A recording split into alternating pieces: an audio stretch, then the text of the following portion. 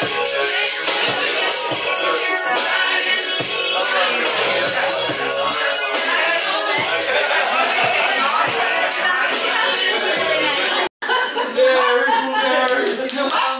the, her boyfriend, like Vanessa's wife, dad. Two years. No, no, with her, uh, yeah.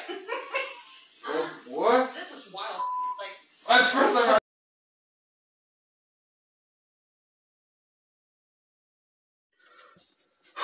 What's up, guys? It's been a couple days since I made this, uh, made a video. Quick little update. I've embarrassed myself and I made a fool of myself at least twice, if not three times.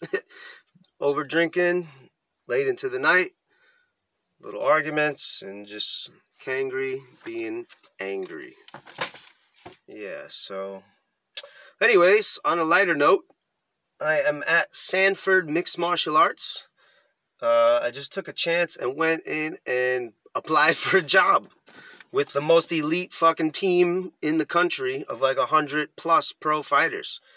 And they kind of looked at me like I'm fucking crazy, and I knew that that they would. And the lady went to go try to pull, I think what is it, Ernet, uh, Ernesto, tried to talk to me, and they just said, "Nah, we ain't wasting our time." Um, but yeah, I tried. I came here.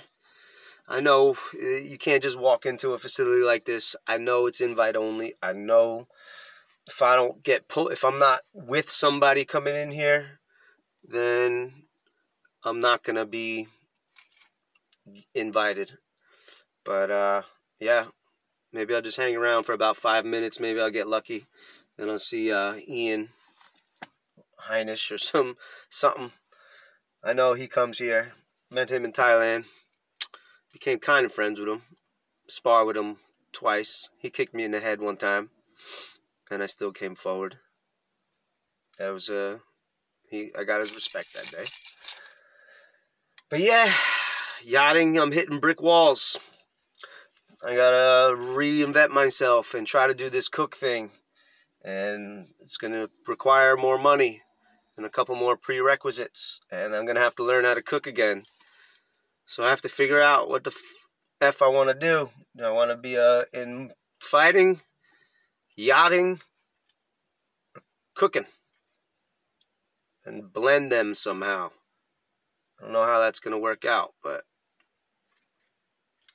yeah, here we are. It's uh, January 31st, I believe. Yeah and uh, yeah, just having some issues. But yeah, we'll get through it, and uh, check in later. Peace. So I didn't want to resort to this, but uh, I might be working in a restaurant around the way from the house, crew house. Um, yeah, it's kind of my plan B, but it is attached to like a boating area. Pull people can pull their boats up to the restaurant. It's kind of a fine dining element, and uh, kind of just walked in randomly yesterday. Applied with an application and dropped off my resume, and they gave me an interview on the spot. And basically, guy told me he wants to hire me, but come back in tomorrow, speak with another guy, and here I am. So wish me luck. See how it goes. So what's up, guys? I'm just having a solo lunch. My horoscope told me to take some time for yourself today and um, just get away. That's what it said. And over the course of the last couple days, like I was saying, I haven't been myself. I was myself for a whole month. Like raw, uncut, unfiltered myself. When you're that much raw, uncut, uncut unfiltered content, you can't help but to, um, you know, have a few speed bumps, as they say. So, anywho, come a little lunch, and um, yeah, I went for this job interview for a restaurant, boatyard. Um, I don't want to say it went well, but I don't want to say it went bad. I felt like it was a surprise for the people who were there. And uh, that being said, I just kind of roll with it. You know what I mean? And uh, yeah, I'm finally getting sleep. I'm finally learning to just kind of keep my mouth shut. Someone once told me my mouth is going to be my biggest fucking problem. I talk too much and it gets me in trouble. So part of me is going to pull back from uh, trying to be too friendly with everybody. And what I mean by that is I just kind of like became too close with people. I was calling them my family, telling them I love them. You know what I mean? Like my brothers, like my my friend's mom. Like you know, I need. I don't. I don't know these people. At the end of the day, I don't know. They don't know me. I don't know them. They're just strangers I live with. And it just so happens to be that they're all cool strangers, and I like all of them. But that might be a problem when you have connections with people. You know, you just enjoy their company. You enjoy. You just hang out. You tell stories. You just go. So, anyways, yeah, I'm having this change of heart. I gotta, I gotta do this chef thing. I think that's my only chance in this yachting world. Not to mention, after all the people I've talked to, I've talked to some high-level chefs. One of them's making twelve to fifteen thousand dollars a month. Yeah, fifteen grand a month chefing, and getting all the perks that come with it. So that's a lot better than washing boats and being a fucking somebody's bitch to me. That's how I feel. So, yeah.